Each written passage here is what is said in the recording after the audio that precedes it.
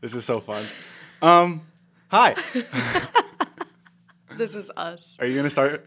No. Should I? Um, no. No. Okay. So we've been talking about doing this for a hot minute. We've been talking about this for a while about talking, just doing like video stuff. Like we always talk about this. We always banter about it, and we talked about maybe doing it on video, and we've done it before, and it didn't go very well. It didn't go very well at all. That was what two, three years ago now. Uh, I feel like it was probably less, but we're just embarrassed. What went so wrong with it? Everything. We just looked like dumb, and we sounded dumb. I, I think at one point I like did my hair scene.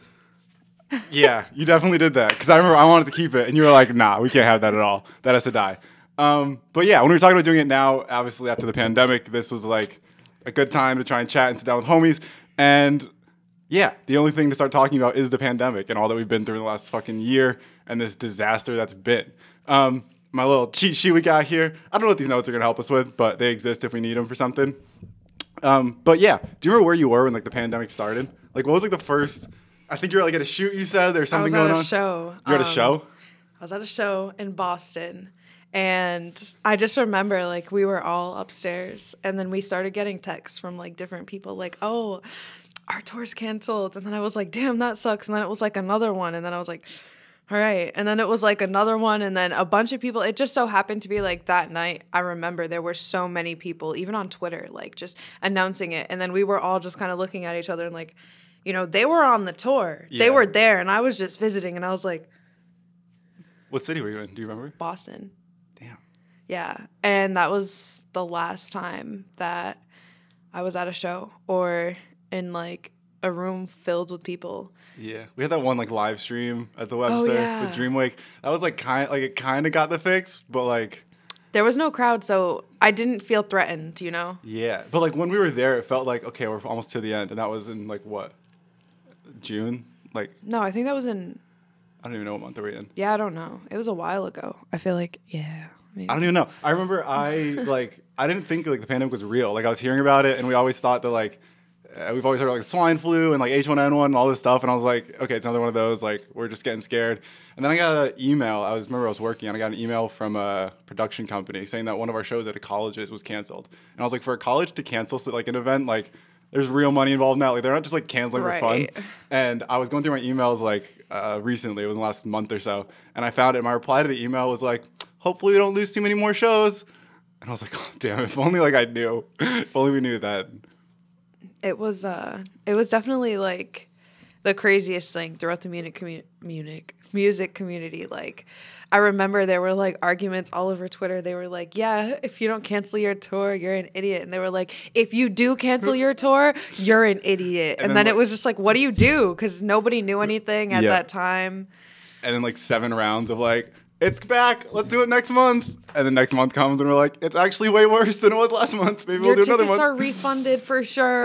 like, so annoying. And then now like they're being rescheduled. I just like it's crazy to me that there's gonna be a show that was supposed to happen in 2020. It's gonna happen like 2023, and it's the same ticket. I got refunds. Loyal fan you are, so loyal.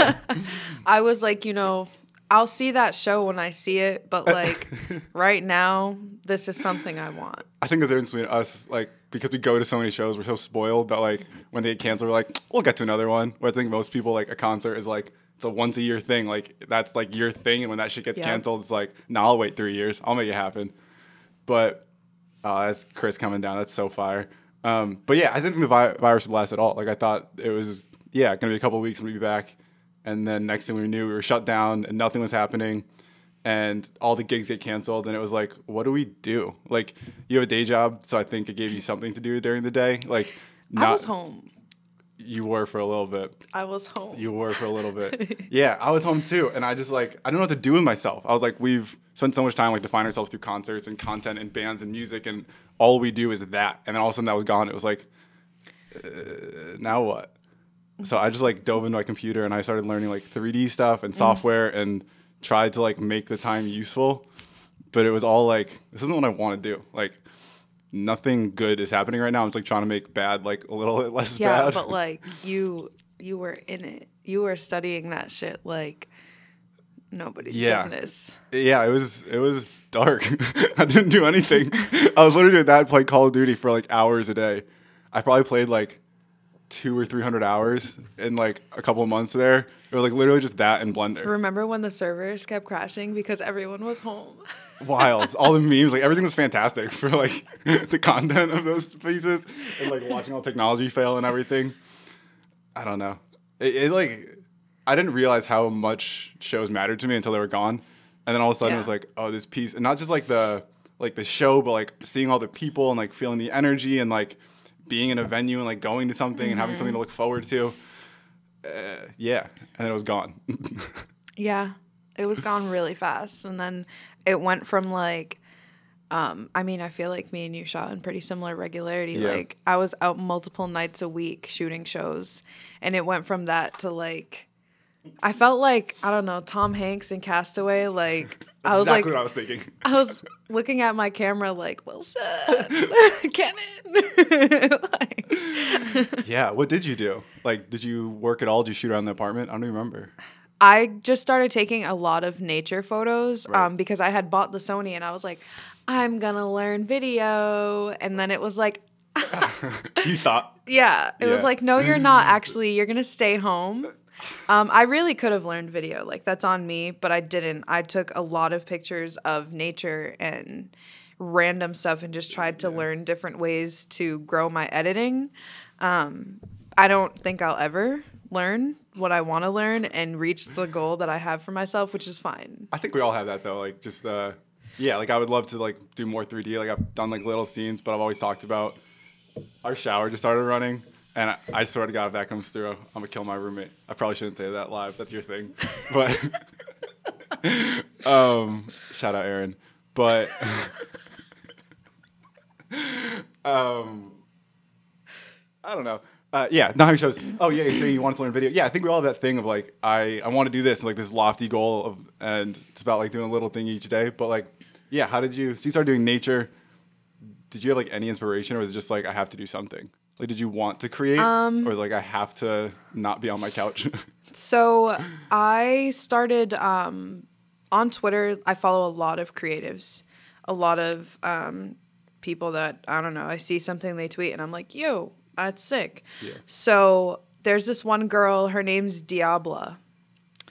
I don't know her actual name. I can't remember it, but she does a lot of like really cool nature photos um, with like clouds and stuff. And I said, you know, I can't take pictures of people, but there's always clouds.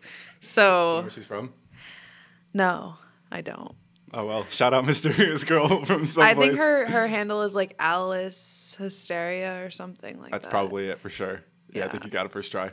yeah. Was it hard like as a human? Like I definitely like once I like couldn't create and couldn't have this thing, all of a sudden like everything else started to fall apart. Like everything else got more stressful and everything else got kind of hairy.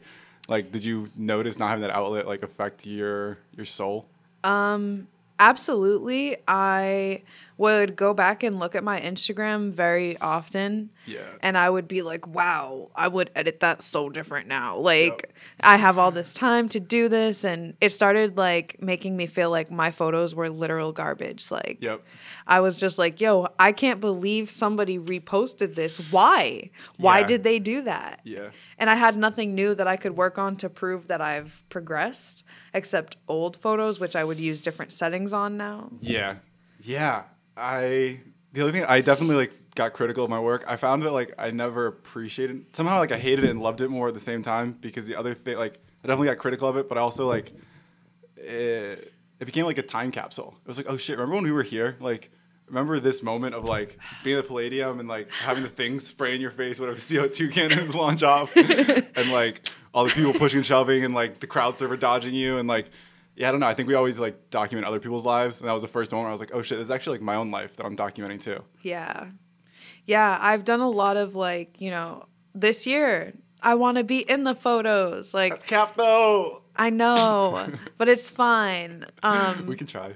we can try but i feel like as a creative a lot of people um, they look at you as a creative they don't you know you're you're obviously you can be their friend and stuff Yeah. but at the end of the day you're there to provide a service and make them look good so when you're there they're not thinking hey jump in this photo so during quarantine it really hit me hard because you know all my friends were posting pictures like missed this tour missed this da da da da da and they're Yeah. tagging me but like i'm really not there Yep. Like, let's be real. I'm not there. Yeah, it's a you touch on like that weird relationship of like yeah, once money gets involved and like content gets involved, like I definitely have people that I work with that I'm good friends with, but there's Yeah. always like a it takes a while for like the skepticism to go away. Yeah. like for the first while, it's like are we like actually buddies? Like what do you want from me? And also like I don't want to get too close to you because I like I want to do business too. Like I like homie rates like ruin everything. Like I I love it. Like I I don't want to charge my friends the full rate. Like I want to.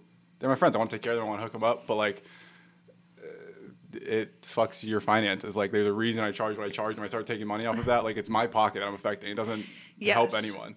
And yeah, managing that and still being friends with people, and it's like I want to be friends with you, but if we're too close, then I have to give you the homie rate, and like, uh, and it just like yeah, it gets so messy. I definitely learned the word no over quarantine. Yeah. Like, Yeah, I've. it's a tough uh, one.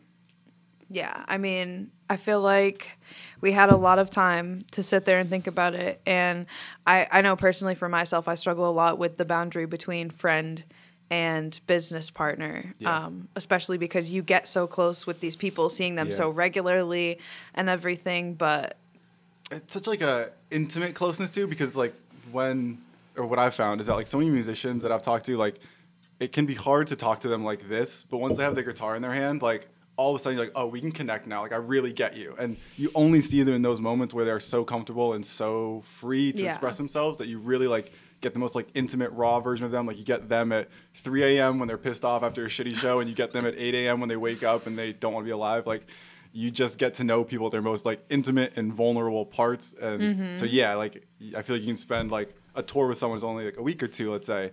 But like yeah you know them like someone you've known for 10 years. Like it's such an intimate thing that yeah it just gets messy. I don't know. So with touring do you think like like do we get back to shows? Like what are we what are we looking at now? I don't um. like we're starting to hear about like half capacity shows and i just feel like that's a nightmare. Like i have no interest in being like a half cap venue and like a bubble with like six feet of tape around me. Like it's better than no shows but my biggest question has been, you know, like we have festivals like I'm trying to think of one, Boston Calling, for example, Yeah. where, you know, you have the stage and then you have like the photo pit Mm-hmm. and then you have like, oh, they give you access to the crowd.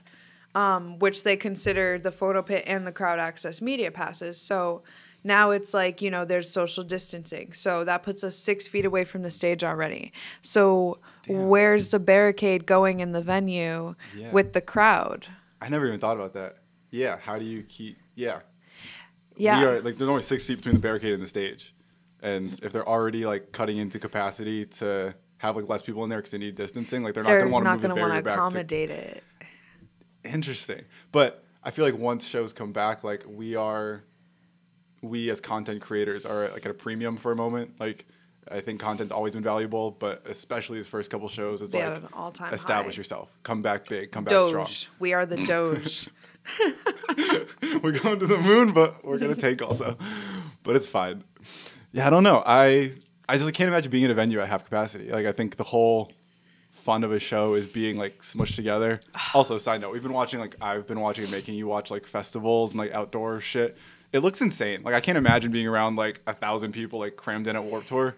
So- like, it feels so impossible and I feel like when you're young and you're there, it's like this is so sick. I'm doing this. Like I remember being at shows and being so tight in the crowd. Yeah. I could like take both my feet off the ground and just be there. Yep. And I was like, "Yo, this is crazy." And I would come Yeah. out and be like, "Oh my god, you got to experience that." Like I would be getting spit on, Yep. like hit armpit sweat, but as an adult looking at that, I'm just I have no interest in especially now with like you know, germs and stuff. It's just How did I think germs like just became cool in the last like year? Like before that, like when people were like over sensitive, I was like, we all ate dirt as kids. Like you're gonna be okay.